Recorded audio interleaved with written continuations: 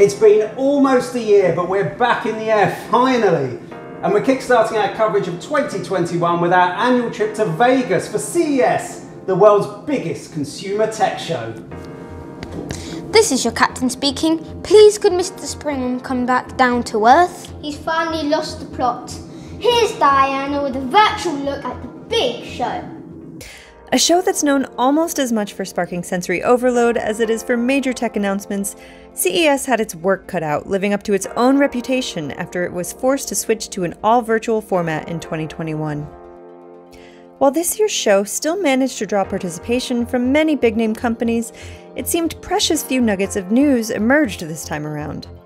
LG Electronics revealed it is working on a smartphone with a rollable display that can expand to the size of a tablet, with CTO IP Park stating the device is due out early this year.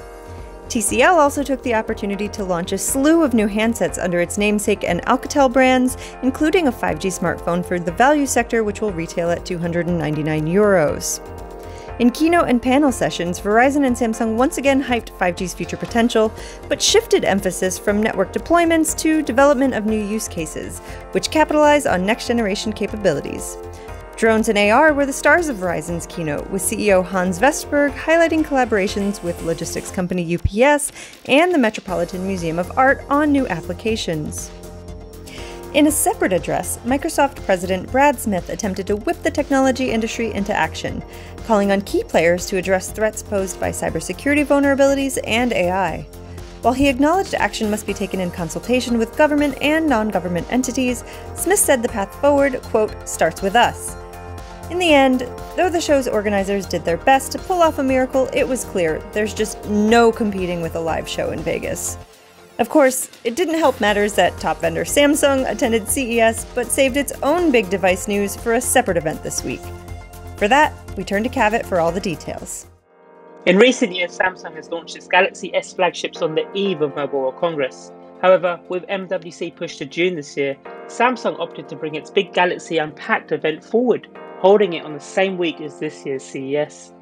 In a change that has been prompted by the ongoing pandemic, while shortening the period between its big launch and rival Apple's iPhone 12 unveiling, which was held in October, this could end up being a positive. Starting with the smartphones, Samsung launched three new Galaxy devices the standard Galaxy S21 5G, the Galaxy S21 Plus 5G, and the very high end Galaxy S21 Ultra 5G, with the lineup pushing an upgraded camera system, a more intelligent display, enhanced AI software, and an upgraded processor.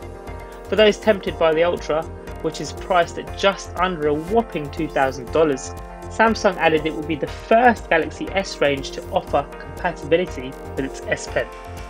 Smartphones aside, the company also released a new set of Pro Galaxy Buds, and last but not least, Samsung used the event to unveil something a little bit different Galaxy Smart Tag, a tracking device which can, you can attach to your keys, your wallet, bikes, luggage, or even your pets will be available from next month for $40. BT appointed former Bharti Airtel executive Harmeen Mehta to lead a new digital unit being created to boost its presence in sectors including healthcare, data product, and even the overall transformation of the company's own operations. The unit is set to operate separately from BT's core divisions and will be tasked with exploring new opportunities in fields spanning cloud computing, machine learning, and artificial intelligence.